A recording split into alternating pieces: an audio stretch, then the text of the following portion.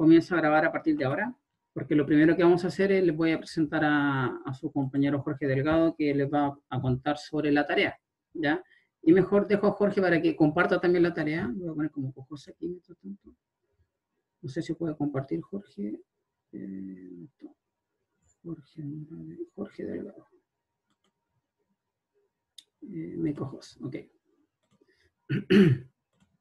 Ok, bueno, le presento a Jorge Delgado, él ya está en sus últimos años de, la carrera, es un buen alumno y será el segundo ayudante de ustedes en esta materia, en esta asignatura, y, tiene la misión de ayudarle a ustedes a que hagan una muy buena tarea. Así que para que le pague bien. Eh, Jorge, te dejo para que le, les compartas tú la tarea mientras tanto, que no está editada, pero con eso es suficiente para conversar y te presente, por favor. Y le cuentes la metodología. Gracias.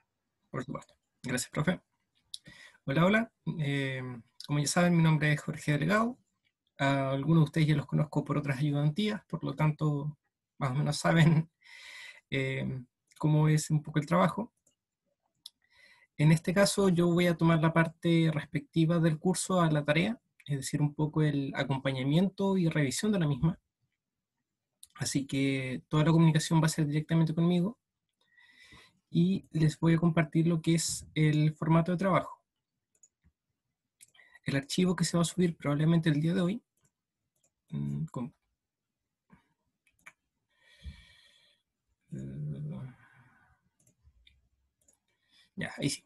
El archivo que se va a subir el día de hoy em, es algo extenso, son cinco páginas, pero no tiene por qué asustarse con eso, ya que la primera página un poco de entiendan cómo es el formato de tarea, mientras que la última página se centra en la experimentación, es lo que realmente tienen que hacer. El documento es extenso por un tema de introducción del tema, de desarrollo, de comentarles qué se espera de la misma. Bueno, la tarea es, en este caso la tarea 1, o una sola tarea en el curso. La entrega tiene una metodología incremental, por lo tanto van a haber distintas evaluaciones a lo largo de la misma, y su nota final está compuesta de las los cuatro promedios que se van a realizar. Son cuatro etapas, se van entregando semana a semana y la idea es un poco ir desmenuzando lo que ustedes tienen que llegar hacia el final de la misma. Es decir, en la primera etapa atacamos la hipótesis del problema, que ustedes lean el documento, puedan generarse una idea de qué, de qué esperar y puedan ustedes enunciar su hipótesis eh, respecto a lo planteado. Es decir, qué, finalmente esperan que suceda, cómo es eh, su percepción del problema. La hipótesis puede ser totalmente acertada o puede ser, digamos, equivocada desde un principio, pero eso no va a tener efecto en la nota, sino que lo interesante es que ya se puedan ir metiendo en el tema. Esto viene a ser, eh, las fichas están más abajitos, pero es la primera etapa. La segunda etapa, siempre vamos a ir iterando sobre lo anterior, es decir, yo les corrijo la hipótesis, el formato que estén utilizando, les doy en este caso su nota asociada y les voy a hacer comentarios que puedan ir mejorando. Por lo tanto, siempre van a ir iterando en lo que ya han hecho. Hay una iteración de lo anterior y avance de código, en donde van a ir primero definiendo las funciones, o sea, las estructuras de, de datos a utilizar y tener un poco el esqueleto de su código, el main al menos se pide la declaración de funciones vacías. Entonces van diciendo, bueno, para este trabajo vamos a ocupar una función de, por ejemplo, por darles un, caso, una función para ordenar, una, función para imprimir, va a recibir esto, esto, otro. Puede cambiar con el tiempo, eso no es ningún problema, pero que ustedes vayan paso a paso trabajándolo. Es normal que en este tipo de trabajos semestrales, digamos, se deje todo para la última semana, y se les complica muchas veces avanzar o tienen dudas en los últimos días. Queremos que eso se extienda a lo largo del periodo de la, de la tarea y no se vean muy presionados al final de la misma, que suele terminar con fin de semestre. La etapa 3, nuevamente iteramos sobre lo anterior y ya se les pide una, una metodología de trabajo descrita en su informe, aparte de un segundo avance de código. La metodología, si bien lo podemos hablar más adelante, busca que ustedes expliciten cómo ha sido el trabajo realizado. No, no es que ustedes em, justifiquen, por ejemplo, cada línea de código, para nada.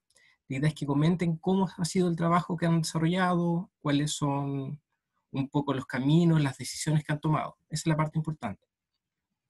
Y por último, en etapa 4, donde ya se entrega el trabajo final. Esto es el informe más el código.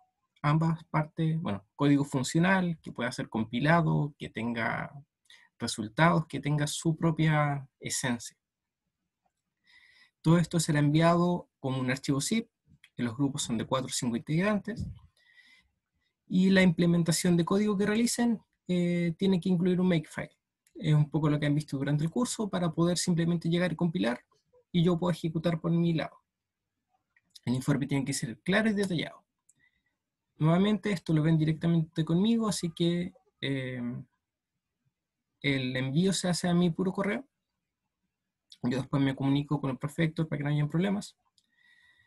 Y el asunto es para que quede bastante claro el correo. Se detalla lo que es el informe, las fechas de entrega. Vamos a ver eso primero. La etapa 1 es en una semana más, el viernes 11, etapa 2 el 18 y así. Cada una semana tienen que hacer una entrega. El informe es bastante básico, introducción, metodología, experimentación y conclusiones. Es básico en, digamos, los hitos que se van pidiendo, pero busca que sea un informe completo, que puedan tratar esta tarea como si fuese un trabajo de carácter académico, científico. Entonces, asimismo lo tienen que ir desarrollando. Discutir el contexto y problemática, la lógica que hay detrás de las implementaciones. Si es que es necesario justificar por qué tomaron ciertas decisiones, también se puede hacer. Eh, la experimentación realizada con los resultados obtenidos, gráficas, tablas de datos, etc. Y unas conclusiones respecto a su trabajo, ya sea validando o rechazando la hipótesis inicial que plantearon. Esa es la idea de cómo tiene que ser el trabajo cuatro etapas y cuatro semanas para ello.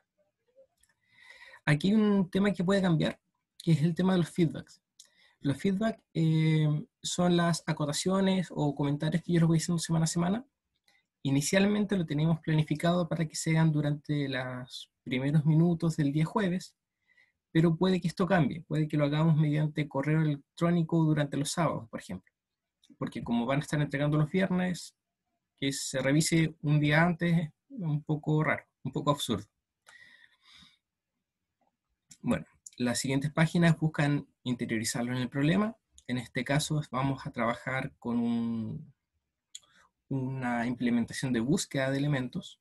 Se describe el contexto asociado, cómo se trabajan actualmente los arreglos, por ejemplo, búsqueda binaria que ya han visto en clases. Esto es simplemente contexto. Hay diagramas para apoyar la idea y se les pide trabajar sobre una estructura en concreto, que son las skip list. Esto ustedes lo van a tener que implementar, hacer la investigación necesaria que requieran, ver cómo es el avance del código y tratar de implementarlo. Y es una estructura que se sustenta sobre listas enlazadas, pero que tiene una, una ventaja en incluir una mayor cantidad de punteros que nos permiten ir avanzando. Entonces, por ejemplo, si vemos esta figura 2, el nivel 0 o el piso de esta figura representa una lista enlazada simple, mientras que por arriba tenemos saltos cada dos nodos. Mientras más saltos se incluyen, eh, las skip lists son más eficientes en su búsqueda, en su recorrido también. Se les plantea aquí cómo se trabaja, cuáles son los nodos. Sí, hay, vale, vale recordarles que es una lista ordenada, entonces por eso la búsqueda es eficiente. Correcto. Em, sí, no es una lista desordenada. Aquí estamos optando, por ejemplo, como se hace en Binary, binary Search, em, el arreglo de datos o la estructura que estén utilizando tiene que estar ordenada. Es una de, los, de las condiciones a priori. Se plantea la propuesta de trabajo, qué se espera que ustedes implementen y cómo deben hacerlo un poco. Se explica a detalle de qué va esta estructura. Em, bueno, la estructura y además la comparación con algo mucho más básico, que en este caso es una lista enlazada mediante la CTL. Es decir, ustedes ya han visto cómo se trabajan las listas enlazadas. La idea es que simplemente una, pero sin tener que recurrir a lo más básico que es la definición de cada nodo. Aquí van a usar una estructura que ya está lista para eso, que pertenece a la STL de C++.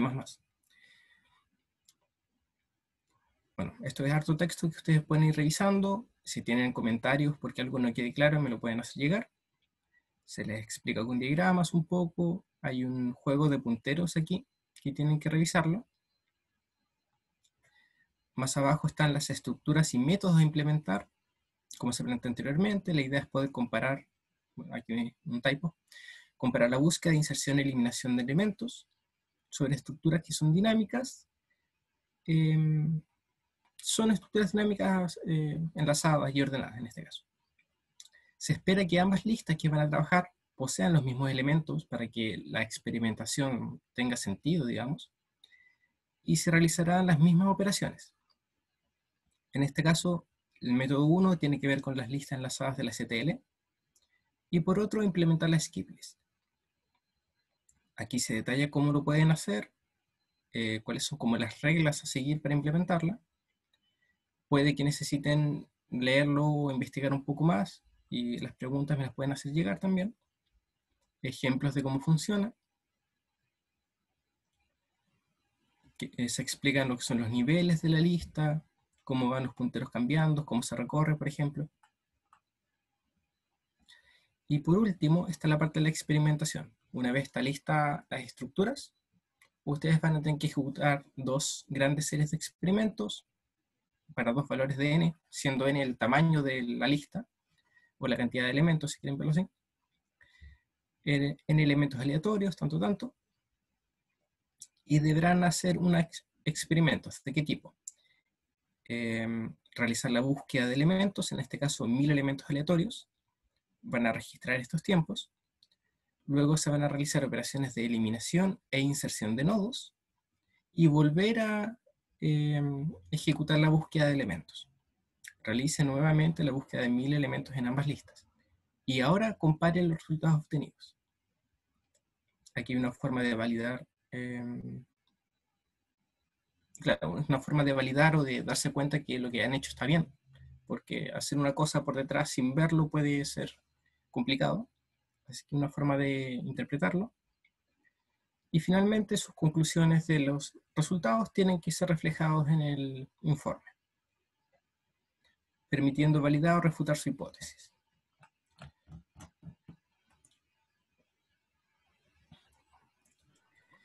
Eh, cuando ya tengan este documento subido van a bueno, poder leerlo, darle sus vueltas y la idea es que de aquí al próximo martes o miércoles ya tengan armados sus grupos, definidos quiénes son los integrantes. Vamos a mandar un, un Excel para que se inscriban.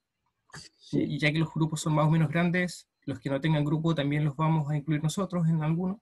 Sí, eh, eso, hay un momentito. Eh, claro, los grupos son de 4 o de 5. Si ustedes tienen para formar su grupo, eh, se van a escribir en ese Excel, inscriben su grupo. Y quienes no tengan grupo, en el mismo Excel va a haber una sección para los que aún no tienen grupo, por favor inscríbanse ahí. Porque nosotros los profesores vamos a formar los grupos ya, con los que no tengan grupo. Y eso tiene que ser de aquí al lunes, martes a más tardar. al lunes ojalá. Así que, eh, Jorge, me envías tú el link, por favor, porque yo le voy a escribir un mensaje al curso con estas indicaciones, ¿ya? Eso. Perfecto. Y bueno, em, de alguna manera se espera que ustedes tengan ciertos conocimientos en cómo se hacen las implementaciones y, la escritura de un informe. Pero en las iteraciones la idea es que yo vaya revisando su trabajo, tanto informe como código, y les aporte lo que necesiten mejorar. Así que por eso es una buena oportunidad para trabajar en un modelo incremental. No sé si alguno tiene ¿Alguna pregunta así a priori? Bueno, yo creo que dudas van a salir muchas, pero eh, mejor experiencia leer el documento, por favor, que lo subamos ahora. Eh, y ahí, por último, el martes, eh, si hay demasiadas dudas genéricas, no sé, pues, tal vez Jorge puede estar nuevo un poquito, pero en la clase, pero ahí va a estar el auxiliar también, y desde ya se le puede escribir a Jorge. Anoten su correo, por favor, desde ya. Ahí está Jorge Delgado, 01alumnos.wash.cl. y como les digo, le voy a subir la tarea ahora ligerito, ¿ya? Eh, pero en resumen, va a ser bastante sencillo, ya para que vayan entendiendo, como, como les dijo Jorge, ustedes trabajaron antes con el, contenedor vector, ahora van a tener que trabajar con el contenedor list, para lista enlazada. Eso por una parte, y por otra parte implementar la SkipLib, ¿ya? Ahí van a tener que investigar un poquito para hacer búsqueda eficiente y comparar eh, ambas estructuras, ¿ya? Eso en resumen, ¿ya? Así que ustedes desde ya vayan formando sus grupos, eh, porque ahora en un ratito más les voy a enviar el link y les voy a enviar un mensaje eh, con todas las indicaciones para que se inscriban, ¿ya? Eso. Yo creo, bueno, si alguien tiene una, una consulta así rapidita y genérica, por favor puede hacerla. A ver. Es una tarea, son varias, profe. Es una sola con cuatro entregas, por tanto va a tener cuatro notas. La primera vale 10%, la segunda 20%, la tercera 30% y la cuarta 40%. Eh, ya son incrementales. Cada tarea incluye nuevo contenido, cada entrega nuevo contenido, pero además corrección de, la entrega anterior, según el feedback que le vaya dando Jorge a cada grupo, ¿ya? Eso, así que creemos que es la mejor metodología, porque así se va trabajando semana a semana y no tienen un montón de carga acumulada para la última semana, ¿ya? Eso. Eh, ¿Algún comentario más, Jorge, para cerrar? Eh, no, la verdad, con eso estaríamos. Bien, muchas gracias, eh, Jorge. Yo tengo una duda. Sí, diga. Sí, era de la skip list. ¿Cuándo digo que es más eficiente? miren, lo que pasa es que, como está explicado en el documento, Jorge lo, mencionó, pero un poco rápido, obviamente en un minuto, ustedes hicieron búsquedas eficientes con eh, búsqueda binaria, porque había un arreglo donde las celdas estaban consecutivas y estaba ordenado, se podía determinar entonces, eh, eh, hay acceso aleatorio a cualquier celda del arreglo, entonces se puede hacer una búsqueda binaria, pero con lista enlazada eso no se puede, porque los nodos no están consecutivos en la RAM, por tanto no se puede hacer acceso aleatorio, yo no puedo ir no puedo ir al nodo iésimo. Entonces lo que se hace, eh, eh una, una, solución, son las skitlets, que lo que incluyen más punteros, ¿para qué? Para que yo en vez de ir al nodo siguiente, yo pueda ir varios nodos más adelante y preguntar si por allá está mi dato. Y entonces si, si aún no llego, entonces me salto todos esos nodos de, de, un, de un solo paso y de ahí tengo varios punteros también para nodos que están más adelante. ¿Me entiendes? Entonces, por eso la búsqueda se hace más eficiente con las skid lists, que son solamente listas enlazadas, a pesar de no ser... Eh, se hace eficiente cuando son más grandes.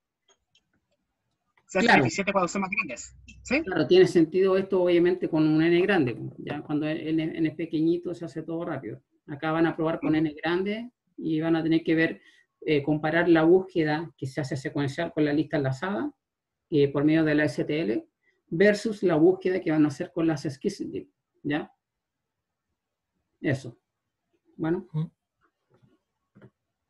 Eso en resumen.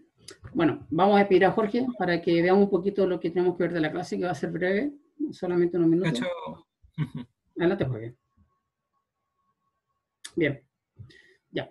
Eh, no alcanzamos, bueno, no sé si se fue Jorge, pero muchas gracias, Jorge. Así que, bien. Ya chicos, eh, la tarea en unos minutos eh, durante la tarde subimos la tarea con el profe Araya y, y ahí podemos, eh, de hecho el día martes, la próxima clase, los primeros minutos, puedo dedicar un poquito más también para, para, para, aclarar más dudas. Lo importante es que ustedes ya vean sus grupos, ¿ya? Y que no tiene grupo también se escriba en el Excel que vamos a dar ahora, ¿ya? Eso. bien, comparto las slides ahora de lo que vamos a ver hoy día, ok. Estamos viendo pila de colas, ¿cierto? La clase pasada vimos eh, eh, eh colas, eh, es, ¿cierto? Y lo implementamos también en un arreglo, ¿cierto? Bueno, implementamos la pila en un arreglo, perdón. Pero también vimos colas. Así que vimos que era bastante más eficiente. Eh, porque cuando se tiene un arreglo siempre las cosas son como más eficientes en general. Y ahora lo que vamos a, ver son unos contenedores de la STL. ¿ya? Ustedes vieron Vector, ya ese es un contenedor, contenedor, eh, una estructura de datos, ¿ya? para almacenar datos, valga la redundancia. Y vieron Vector y ahora van a tener que ver List, que es para la tarea, y aquí vamos a ver dos contenedores, uno para pilas y uno para colas, ¿ya? Eh, lo bueno de la STL y de estos contenedores es que todo resulta súper rápido y eficiente, porque es una librería que está muy, muy eficiente, ¿ya? Está depurada, está optimizada, ¿ya? Eh, entonces, cuando ustedes usan algo de la STL, de seguro eh, está, bien, está bien hechito, ¿ya? Así que, bien. Acá en la STL del C++ existen los contenedores eh, stack y kewe, ¿ya? Ahí, debería decir std, ya que están en el, en el std. ¿Se acuerda cuando ponemos en el, en el código fuente, ponemos include std, en el, namespace, el espacio de nombre? Ahí se encuentra tanto stack como kewe. Pero además hay que agregarlos, en, bueno, ya están uh, en el mismo lenguaje de C++, hay que agregar eh, los headers. Lo vamos a ver en, en un código. Pero veamos lo siguiente. Al igual que las pilas y las colas que implementamos con listas simplemente enlazadas, aquí está std stack y std keyword, implementan los esquemas de almacenamiento LIFO y FIFO de forma eficiente, ¿ya? Eh, es decir, para, para pilas y para colas. Eh, una de las ventajas que tenemos acá es que ya no tenemos que estar programando y haciendo los free, perdón, los, los new y los delete, ¿ya? Por la memoria, porque esto lo hace solo la STL de forma automática. Yo pido y, y, elimino nomás, ¿ya? Y por, y por debajo el sistema operativo lo va haciendo, ¿ya? Entonces, eso ya no tenemos esa preocupación de estar eh, eh, liberando memoria y cosas por el estilo. Eh, bien, utilizamos el stack, así std, dos puntos, punto stack, menor, t mayor, símbolos, Eh, para declarar una pila de tipo T y de la misma forma, pero con keyword para una cola de tipo T. Ya, T es un tipo de dato ya definido, un entero, tipo de dato básico, por ejemplo, o puede ser una estructura también, ya, tipo de datos compuestos. Y esto se pone siempre y cuando yo no haya puesto el using namespace arriba. Si lo tengo puesto arriba, eh, std, insisto, acá está bien, std. Eh, si, está puesto ya no es necesario ponerlo ya, porque se entiende que ahí lo va a ir a buscar, porque yo lo incluí en la cabecera. Lo vamos a ver en el fuente. Eh, lo importante de las operaciones con este contenedor son lo siguiente. Está la operación push, ¿cierto? La vimos nosotros para pilas, pero aquí también tiene el mismo nombre para colas, ¿ya? E insertar, ¿ya? Eh, obviamente con pila eh, ustedes saben que se va amontonando arriba en el tope, ¿cierto? Y con cola se insertan por la cola, ¿ya? Eh, dependiendo del contenedor, push obviamente lo va a insertar al tope en una pila o en la cola si es una cola, ¿ya? Pero se usa el mismo nombre para, para ambos contenedores. Y pop también, ya es el mismo nombre eh, tanto para pila como para cola. Es para eliminar, ¿cierto? En una pila se elimina el, el que está en el tope, ¿cierto? Se elimina el que está arribita, ese se elimina, y en una cola, ¿cierto? Se elimina el que está al frente. O sea, es como decir, se atiende a la persona que está al frente de la fila, ¿cierto? En una fila de supermercado, valga la redundancia en este tiempo, el primero que sale de la fila es el primero que llegó, ¿ya? Eh, ese, es pop, ese es pop. También en, en, el, en el, contenedor keyword, ¿ya? O sea, tiene los mismos nombres. Recuerden que aquí para nosotros para cola le poníamos en keyword y de keyword, en colar y de colar, pero aquí se llaman push y pop. Hay, eh, para, los, para el keyword está el método front, que retorna el elemento que está al frente de la cola, es decir, el próximo a eliminarse cuando se haga pop. Y para stack, ¿cierto? Stop, quien está al tope, quien está al tope del stack, ¿ya? O de, o de la pila, ¿ya? Y están los métodos size y empty, igual como lo vimos nosotros, ¿cierto? Size retorna el número de elementos que tiene el contenedor y empty retorna verdadero si que no tiene elementos y retorna falso si que tiene al menos uno. ¿ya? Aquí hay detalles eh, de todas estas eh, implementaciones que están acá. Por ejemplo, si abrimos la primera para, para Keyword. Aquí, aquí se está abriendo. Aquí están, eh, aquí está Keyword y ahí están todos los las operaciones. Hay otras más, ¿ya? Pero esas que estamos viendo aquí son las que bastan, ¿ya? Y ahí pueden ver ejemplos. Si yo quiero ver cómo se usa, por ejemplo, front, ya lo abro. Eh, ahora la semana 11 usamos la 14, pero es válida para las otras. Y aquí hay un, hay un ejemplo también ya de, de push, etcétera, y cómo se, cómo, eh, cómo se lista, cómo se ve. ¿ya? Pero están eso ahí para que ustedes lo puedan, tienen recursos ahí que son oficiales del, del C++, ¿ok? Bien, vamos a abrir esta fuente, stackkeyway.cpp. Eh, recuerden que tenemos nuestra carpeta donde estamos trabajando, y aquí yo puse stackkeyway.cpp, ¿ya? Lo primero que vamos a hacer es editar el myfile, para que, para que lo compile. Vamos a abrir acá, le vamos a poner una entrada, por ejemplo, eh, STL, así le vamos a llamar, ¿ya? Y aquí vamos a poner nuestro objeto.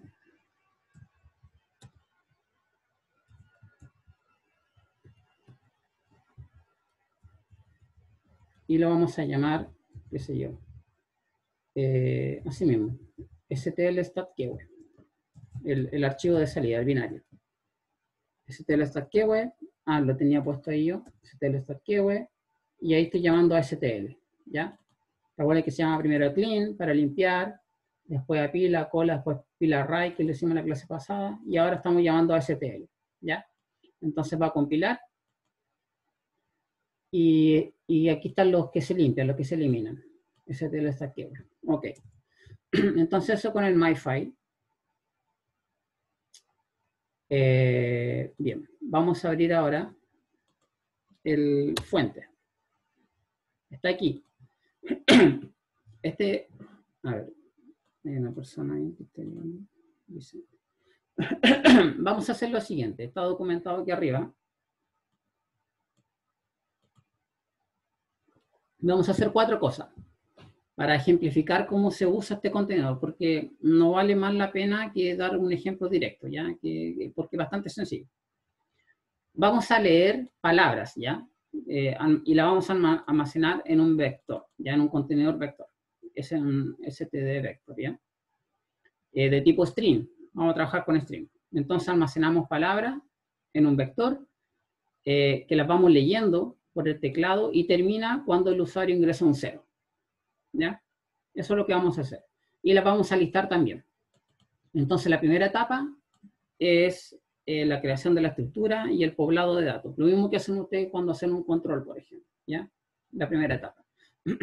la segunda etapa, vamos a ordenar este vector, es decir, las palabras, los strings que se ingresaron, de forma creciente, usando el algoritmo sort, que está en, en el, en, el, en el sistema también de, del C++, ¿ya? Sort. Y sort puede usar una función compare, ¿ya? Lo vamos a ver ahora y van a salir las dudas, ¿ya? Pero sort me sirve para ordenar, ¿ya? Eh, bien, vamos a hablar un poquito de sort también. Después de eso, vamos a iterar en nuestra estructura que, que creamos acá, bueno, que ya está ordenada, y vamos a guardar las primeras n medio palabras, es decir, la, primera mitad, eh, que son las menores, ¿cierto? Porque está ordenado crecientemente, menor alfabéticamente, y la vamos a guardar en un stat que se llama S menor, ¿ya? O sea, la primera mitad, que es menor de los strings, lo guardamos en S menor. Bueno, los restantes eh, palabras, la otra, la otra mitad, eh, las mayores, las vamos a guardar en, en un kewe, que se va a llamar Q mayor. Y finalmente, vamos a listar todos los elementos eliminándolos tanto del kewe como del stack. ¿ya? Los vamos a listar. ¿Ya? Entonces, cuatro etapas. Bien, y de aquí va a quedar una tarea que la vamos a ver al final, que es para ustedes. Ok, el código. Bueno, acá está lo include. Noten que el, este IO stream, a ver quién entiende bien para qué se usa. Eh, se, ha comentado, a, modo de comentario. Quiero ir repasando algunas cositas. ¿Para qué se usa? In, out. Bien, ¿cierto? Esto significa input, output, stream. En un stream usted sabe que un flujo continuo, ¿ya? De, de, bits, de lo que sea. Pero se usa para entrada y salida de, de flujos de datos, ¿ya? Se usan, acá está el, contenedor header, donde, perdón, el archivo de cabecera, el header, ¿cierto? Donde están eh, los métodos eh, definidos y ya eh, dispuestos en, en, el C++ para, para el manejo de stream, para la entrada y la salida. Está el contenedor vector, porque vamos a usar un vector, y están los otros dos contenedores. Está aquí Keyword. Y también tenemos el, el header de algoritmo, algorithms, algorithms, se llama aquí, donde están los algoritmos que ya vienen eh, ya hechos en el sistema. ¿ya? ¿Y por qué? Porque vamos a usar el sort. ¿Ok? Y el, y el, espacio de nombre, porque como son tan pocas cosas, lo voy a poner aquí mismo, eh, para no estar poniendo std, dos puntos, dos puntos, sino que se pone directamente. Ya, mire, sort permite que yo ordene una colección, un vector, un arreglo, lo que, lo que sea, mediante una propia función, función de comparación. ¿ya? Aquí hay una. Por ejemplo, eh, esto, esto va, si yo uso esta función, esto va, va esta función de, de verdadera si el string S1 es mayor que S2. ¿ya? Eh, esta función entonces, si yo uso esta función con sort para ordenar string, me lo voy a ordenar descendentemente. El mayor primero, después el segundo mayor, después el tercer mayor, de forma alfabética. Porque inmediatamente el, el, C++ entiende que esta comparación de aquí es eh, string a string. Por ejemplo, miren, si yo tengo que S1 es alabardas y S2 es al a la, no sé, por ejemplo, alabarte, ¿ya? Eh, alabarda, y aquí incluso alabardaza, por ejemplo, más grande todavía. Entonces, o puede ser más pequeño inclusive. Eh, el largo del string no me indica cuál es mayor y cuál es menor. Eh, la comparación se hace es, carácter a carácter. Yo parto de izquierda, comparo la A con la A, son iguales. El segundo, L con L, son iguales tercero son iguales, cuarta, hasta la R son iguales. Y aquí viene la diferencia. Hay una D y acá hay una T. ¿Cuál es menor? La D. Por tanto, S1 es lisicográficamente menor que SD. ¿Por qué? Porque la D, la D, ¿cuál, cuál son los D? 1, 2, 3, 4, 5, 6, 7. El séptimo, ¿cierto? El séptimo símbolo, que es la D, es menor que la T y por tanto retorna false.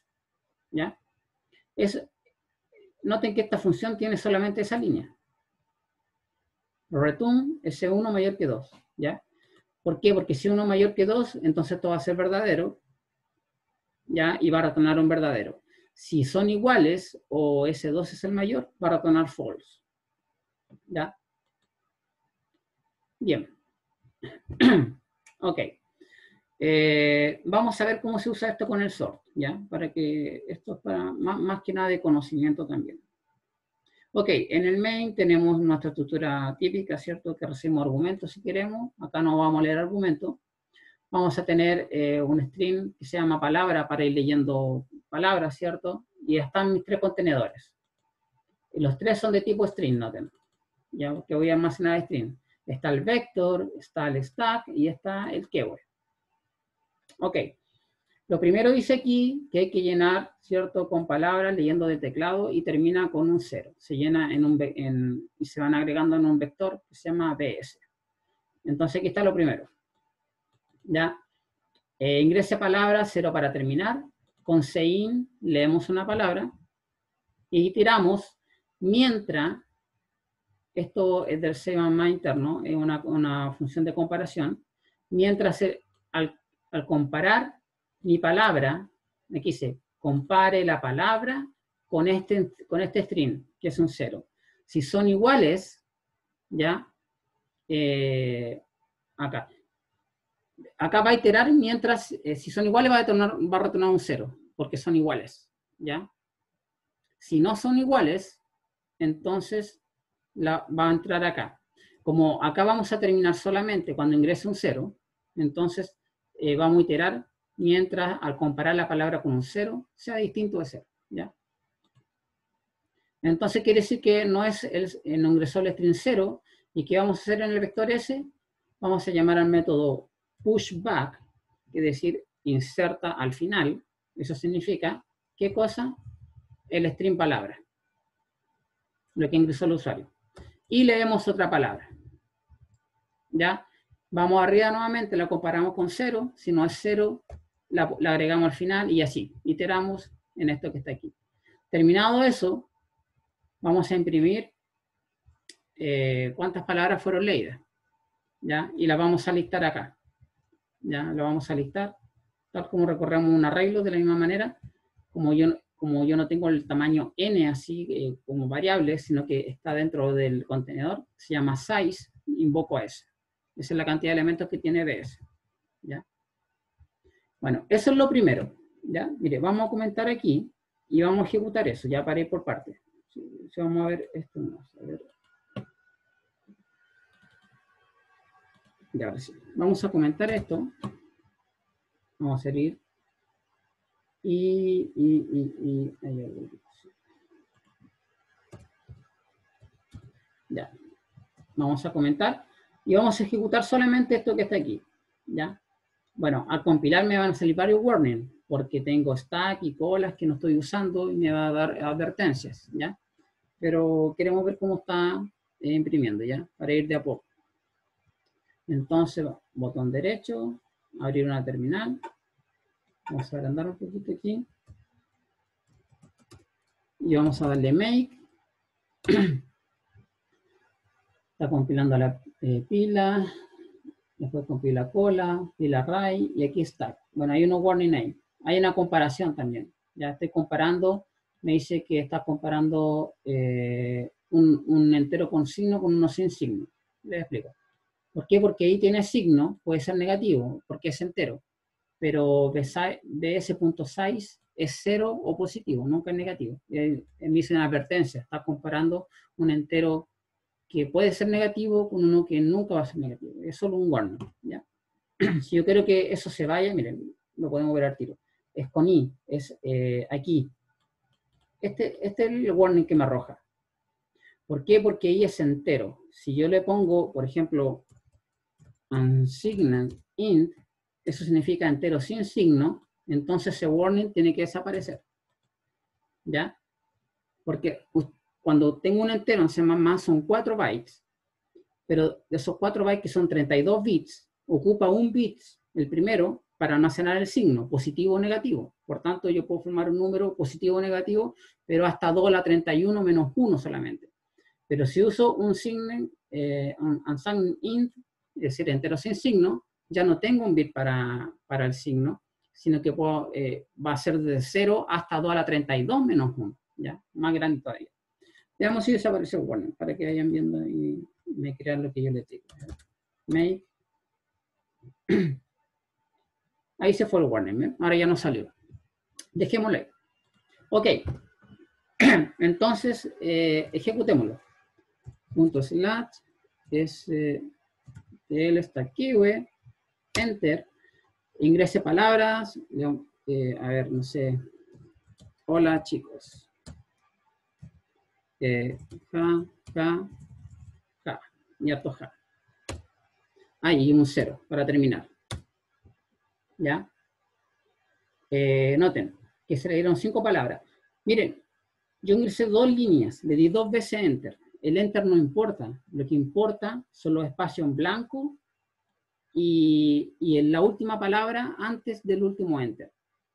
¿Ya? Porque yo lo pudiera ingresar así. Eh, hola, chicos, ja,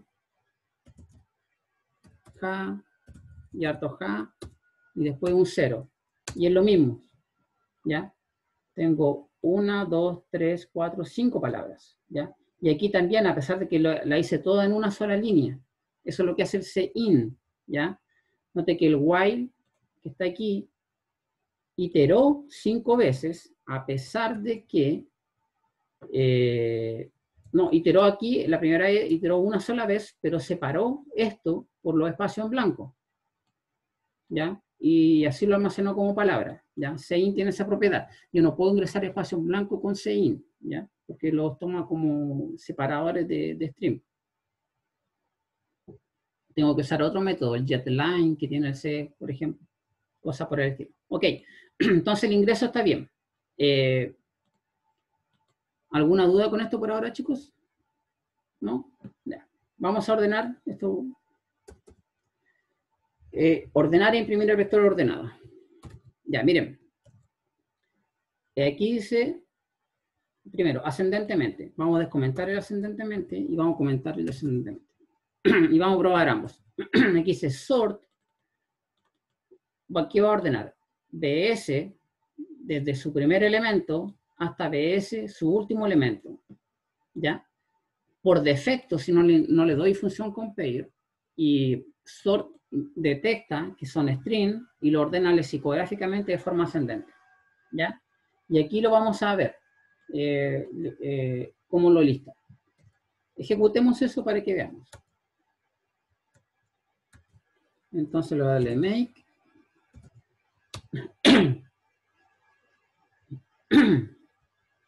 y ejecutamos. Por ejemplo, eh, otro string, a ver. Cada día me siento más alegre. Y un cero para terminar. Enter. Mire, leyó seis palabras. Ahí está. Cada día me siento más alegre. Y el vector ordenado Miren, la primera es alegre, porque empieza con A. Después viene cada, que empieza con C, día. Dice, cada día más me siento. Ahí está ordenado de forma ascendente. ¿Ya? Si yo lo hago descendente, ahora va a ser con mi función, yo voy a comentar eso que está ahí, y aquí va a estar la función que le digo yo que es mi compare. Aquí está mi compare, que como retorna eso solamente y con esto basta para ordenar descendentemente. Yo guardo, compilo nuevamente y vuelvo a ejecutar. Eh, cada día me siento más alegre, cero, y vamos a ver cómo ordena ahora. Ahora está al revés. Siento me más día cada alegre, ¿ya? Está al revés. Aquí estaba eh, alegre cada día más me siento forma ascendente y aquí está descendente. Siento me más día cada alegre. Se dan cuenta que con poquitas líneas, si usted tiene conocimiento de la SOR, eh, ustedes pueden, eh, o conocimiento de la STL, ustedes pueden hacer muchas cosas. Acá su compañero habla de usar la RSORT, hay, hay muchas más, hay muchas más, ¿ya?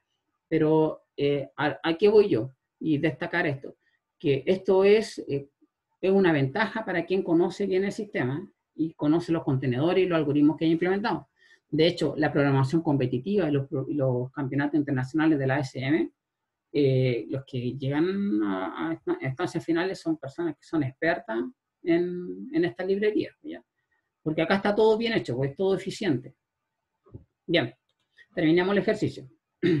Entonces ahora lo que vamos a hacer es, la parte 3, es llenar ambos stacks y los vamos a imprimir y los vamos a eliminar. Así de simple. Tenemos que acá nuestro stack se llama S menor y nuestra cola se llama Q mayor. Y recuerden que vamos a ordenar ascendentemente, ¿ya? Ascendentemente. Entonces dejamos el ascendente, comentamos el descendente. Y, y aquí llenamos. Vamos a recorrer desde 0 hasta n medios, ¿cierto? Hasta b6 partido por 2. Y cada palabra, cada bs sub i, lo vamos a insertar con push en nuestro stack. ¿Ya? Este i va a terminar con b6 partido por 2 y ahí mismo comenzamos hasta el final. No estoy reinicializando el i y continúo. ¿Ya? Y ahora en vez de insertarlo al S menor, lo voy a insertar al Q mayor. Por tanto, va a estar aquí la mitad menor insertada en este stack y la mitad mayor insertada en este keyword. ¿Ya? Esto, noten lo sencillo que es llegar y, insertar en, los stacks y en los keywords, sin tener que programar mucho. Después lo imprimimos eh, eliminando, ¿cierto?, de sus elementos. Entonces, miren lo que yo hago. Para imprimir el S menor, vamos a iterar mientras S menor.empty, eh, mientras no, se, no esté vacío. ¿Ya? Vamos a imprimir eh, hasta que esto eh, tenga elementos. entonces, ¿qué hago con out? Imprimo lo que hay en el tope y lo elimino. Itero, pregunto, ¿quedan? Sí. Imprimo lo que hay en el tope, doy un espacio en blanco y lo elimino. ¿Ya? Podríamos poner, un guion ahora, a ver, para que veamos que con guion están los elementos eliminados. ¿Ya? Y lo mismo con el Q mayor, pues, ¿ya? El mismo while hasta que los eh, contenedores queden vacíos. Y no tiene mayor ciencia. ¿Ya? Si compilo esto, make,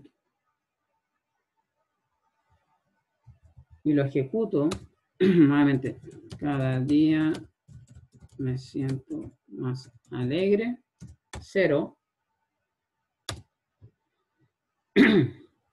Aquí están. Aquí están los tres que vienen en el stack. Note que el primero era día, el segundo, este estaba en el tope, después en el tope quedó cada, y el que estaba al fondo del stack era alegre.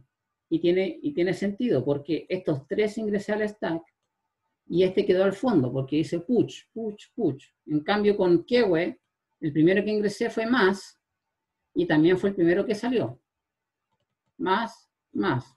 Después ingresé me, y salió me, y finalmente el, último elemento de la cola era ciento, y se imprime ahí.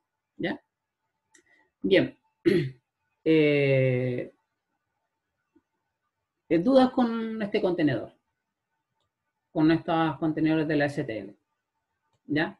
Bueno, acá eh, generalmente las dudas comienzan cuando empezamos a programar, ¿ya? Entonces aquí esto requiere ejercicio, ¿ya? Requiere que ustedes metan mano, que usen los contenedores, que usen los algoritmos como sort, por ejemplo. Está el algoritmo eh, búsqueda binaria, binary search, está implementado. No sé si lo alcanzaron a utilizar con Eric. Eh, pero también está, y hay un montón de algoritmos, así que eh, es importante que traten de, de, ir viendo las cositas que va teniendo el, el, lenguaje, ¿ya? Como el curso no está enfocado a ser experto en el lenguaje, está enfocado a, a entender de estructuras de datos y algoritmos, y como apoyo usamos el C++. Y, y aquí damos algunas luces de lo potente que es el lenguaje, ¿ya? De hecho, C++ se dice que es el lenguaje más potente, más poderoso que hay, mucho más que Python. De hecho, si ustedes hacen dos códigos, lo más óptimo posible, y, lo, y les toman el tiempo, eh, generalmente, casi siempre, va a ser más eficiente el que está hecho en C++. De hecho, Python fue codificado en C++, entonces, o, en C. El, C++ es una extensión del C. Así que es un lenguaje potentísimo. El problema es la, entre comillas, que sigue siendo un poco débil la detección, detección de errores y que a veces se hace complicado el tema de los punteros. En estos problemas chicos no. En un control no se le debe complicar pero cuando están en un proyecto grande y hay punteros por todos lados, entonces ahí a veces como que se hace un poquito más difícil, ¿ya? Pero por eso eh, tienen que ir adquiriendo rodaje en esto. Bien, ¿alguna duda, chicos? Nuevamente pregunto. ¿Qué significa que el, el tenga punto y coma? Ah, ya, miren. Esto de aquí eh, tanto para for como para if, como para ciclo o para, o para una sección, si hay más de una línea, yo tengo que, estoy obligado a ponerle corchetes, ¿ya? O sea, eh, paréntesis y llave. Pero si es solo una línea, yo lo puedo omitir, ¿ya? Lo puedo omitir, porque es una sola línea, ¿ya? Pero en cambio en este while, noten que tiene dos porque eh, entonces tengo que tener llave, ¿ya? Esto for también. Este tiene uno solo, entonces basta con eh, punto y coma acá. ¿Ya? Este out está fuera del for. Eso. Él corre lo mismo para el if, corre lo mismo para, el, para todos los ciclos. ¿ya? De hecho, yo puedo incluir acá, miren, puedo hacer lo siguiente, miren. Puedo poner acá unos corchetes. y este es un, un ámbito, y yo puedo poner aquí int i igual 10. Y este i que está aquí es distinto al i que está acá.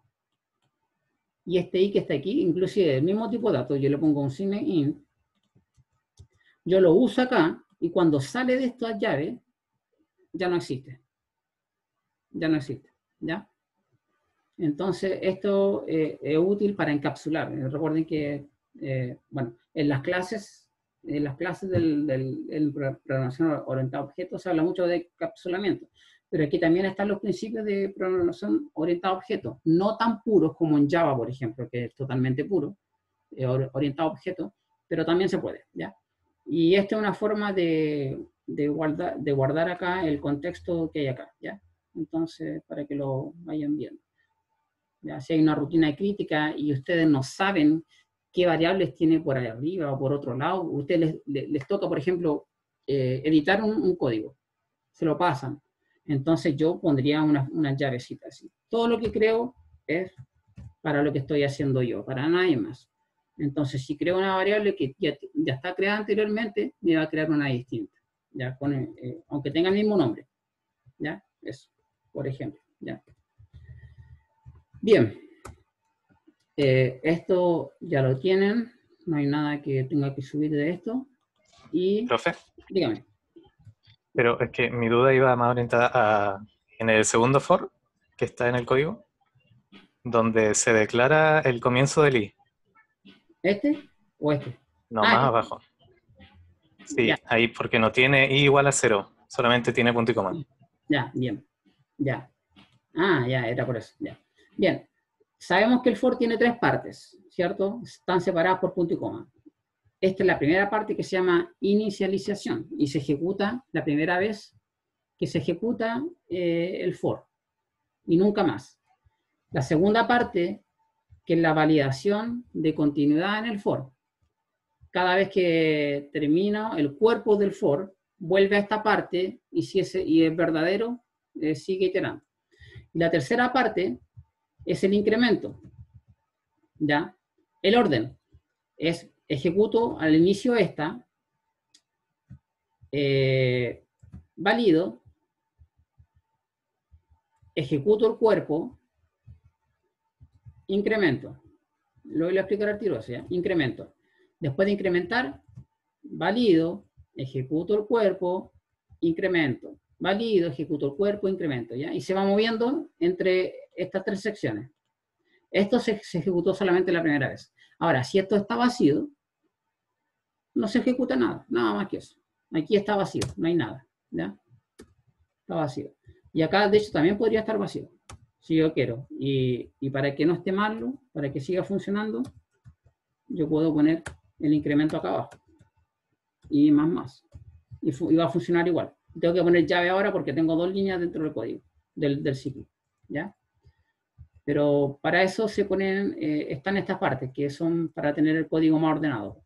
Si necesito inicializar, como yo no quiero inicializar el i, porque yo quiero partir de donde quedó, quedó aquí, en B6 medio, entonces desde esa posición yo quiero que continúe hasta llegar al final. ¿ya? Vamos a ver cómo está. Vamos a. Ahí. ¿Ya? ¿Se entiende ahora? Sí, ahí entendí. Gracias. Bien. Ya, entonces inicialización puede estar vacío. Esta parte de acá también puede estar vacío. La que no puede estar vacío es la del centro, nunca. ok. Eh, veamos ahora. Eh, bueno, eh, ya teníamos la clase, pero quiero que vean lo siguiente. Solamente una cosa. Acá hay ejercicios. El 1, 2 y 3 están en condiciones de hacerlo. El 4 lo bueno, también deberían hacerlo porque es, bueno, en realidad todos. Eh, pero esto lo, comentamos en la clase pasada, que es implementar una cola en un arreglo. Y el que está bonito es este de aquí, ¿ya? Este de aquí, yo lo estuve eh, eh, editando, por eso le pedí que volvieran a, a recargar los slides. le puse una imagen ahí. Esto de acá lo que hace es implementar una cola simple con dos punteros, ¿ya? Es decir, Nosotros implementamos una cola y le pusimos Q al que estaba al frente y ese puntero no existía. Por acá se hacía en y por acá se hacía de Kevo. Ahora vamos a tener dos punteros, uno al frente y uno al final, front y last. Entonces, el de Kewe se hace igual que en el caso anterior, ¿ya? Se aumenta el puntero al, nodo siguiente, aquí, y se elimina eso, y el en Kewe ya no hay que recorrer desde el inicio hasta el final. ¿Por qué? Porque tengo un puntero aquí. Entonces, lo que hago es, eh, enlazo inmediatamente este nodo, este, este puntero, con el nuevo nodo. Acá está el nuevo nodo, y directamente lo enlazo, y aumento el L. Y eso es una cola mucho más eficiente porque ahora eh, el enqueue ya no toma orden lineal, ya no tengo que recorrer todos los nodos de la estructura, sino que me voy directamente al puntero que está en las y ahí hago el enlace. Entonces, acá ustedes deberían hacer eh, eh, un copy-paste simplemente de este que está aquí que se llama Kewe, control C, control V, F2, le vamos a poner Kewe from last FL, ¿ya? Y aquí implementar esto, ¿ya? También va a ser una clase y le cambian los nombres, ¿ya? Va, a llamar Kewe from last, por ejemplo, y le van cambiando todo para abajo, ¿ya? Recuerden que el de Kewe queda igual, pero los punteros ahora ya no son Q, sino que son eh, F, ¿ya? Y el otro puntero es L, ¿ya? Y tienen que cambiar esto, ¿ya? En realidad, esa es la tarea, el ejercicio es el ejercicio. ¿ya? Entonces está súper bonito, eh, si hacen esto, me van a quedar súper bien. ¿ya? Esto es un ejercicio tipo formativo, tipo control también. ¿ya? Así que este que está aquí. Bien. Ya chicos, eh, me gustaría que los que puedan vayan al workshop, bueno, si tienen que estudiar, ustedes prioriza, priorizarán sus actividades. Uno tiene que tomar decisiones a veces, yo también cuando estaba, era alumno, dejaba alguna cosa de lado por hacer otra, así que ustedes verán. Eh, pero la invitación al workshop está, yo me voy a sumar ahora porque quiero ver algunas presentaciones de sus compañeros. Y bien, pues, eh, dejamos la clase hasta acá, a menos que tengan alguna duda, algo que decirme. Chicos, ¿algo? ¿No? Bien, dejamos la clase hasta aquí y nos vemos la próxima semana, próximo martes 8, si Dios quiere. ¿Ya? Chao chicos, que estén bien. Chao, profe. Chao, profe. Chao, profe, que esté bien.